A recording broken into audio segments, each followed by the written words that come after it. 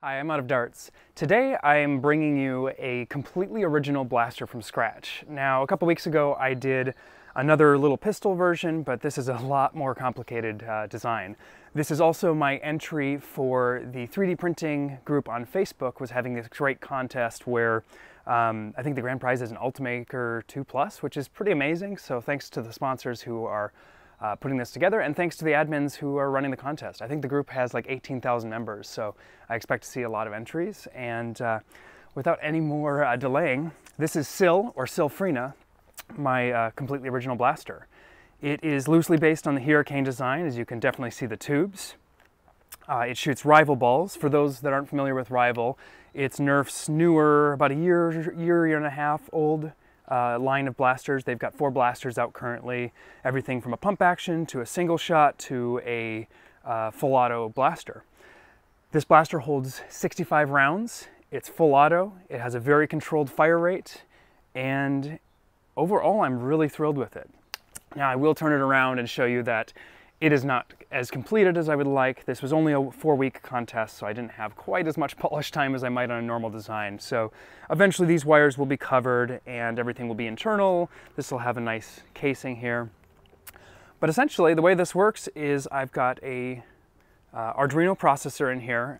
Thanks Eli, who did all the processing and uh, programming rather. He's the guy that did the amazing uh, brushless uh, Rapid Strike for DRAC and uh, he saved my butt on this one because he helped me with all the programming because that's way beyond my capabilities. But essentially what I've got is a brushless motor up here that has a EDF, which is an electronic ducted fan. It's like a little mini jet engine, you can sort of think of it, but electronic.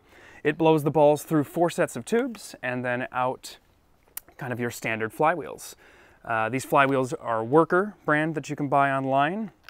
And basically everything on the blaster is 3D printed aside from the obvious electronics, a magnet enclosure, the motors, the flywheels, the blower, and of course, buttons. Now you'll see I have three switches here. Uh, one is the rev trigger, which revs both the flywheels and the blower, which will feed and shoot the blaster. The second on the side is a feed-only trigger, and what that does is it runs just the feed mechanism, just the blower at a lower rate to actually feed the blaster. That way you don't have to make as much noise as when running all three blasters when you're playing with it. And then the third, of course, is our actual trigger. And the actual trigger uh, runs a roller mechanism. And I think a few other people are probably doing something similar. I started with a uh, belt feed, much like what Nerf had done, and then realized that the belt feed was totally overkill because essentially what this little blower does or roller, excuse me, is just feeds uh, balls nice and evenly. One of the problems with my Hurricane, the mod that I make for this other thing, I'll link the video here. It's a mod for a Nerf blaster. One issue with it is that it tends to feed a little erratically. It feeds a little slower when it's full and it feeds really fast when it's almost empty.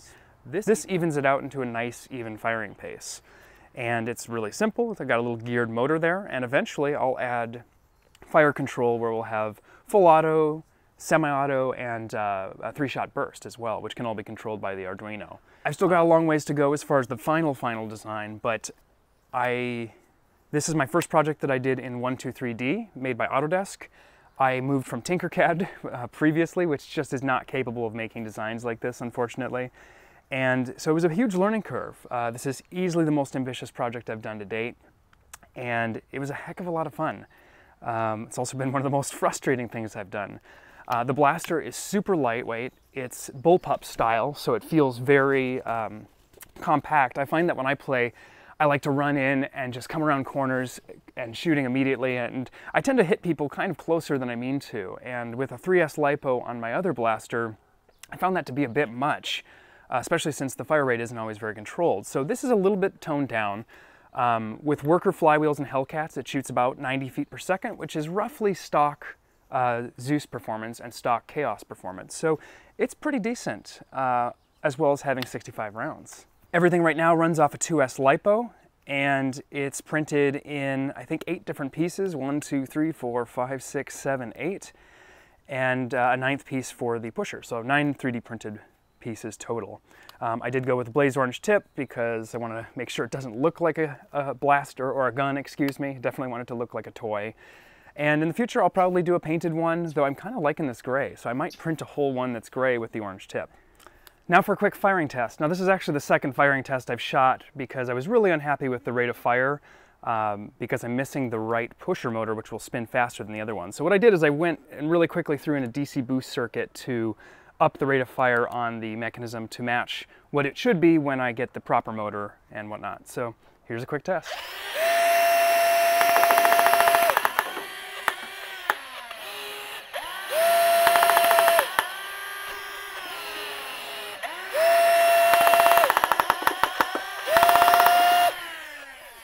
I'm laughing because my wife is behind the camera cringing. Thank you, sweetie. Um, anyway, that's my design. I'm super thrilled with it and I can't wait to keep going on it. It's by far the most adventurous thing I've done. You'll notice instead of being like stupid cylinders that I made before in Tinkercad, I've really um, taken the design to the next step. This grip feels really good in your hands. The balance is great. The battery's in the back, so the, the balance is, is pretty nice. And I think that's great because you can just whip this around really fast. So thanks for watching. Uh, hope you enjoyed this and I'd love to hear your thoughts on it and where it could go. And uh, uh, wish me luck in the contest. Until next time, I'm out of darts.